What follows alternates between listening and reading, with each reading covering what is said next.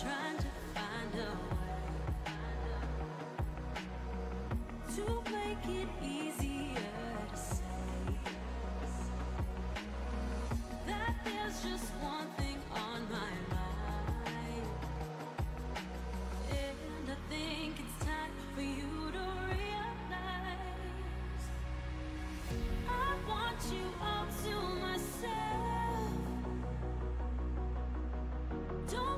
shake you with love.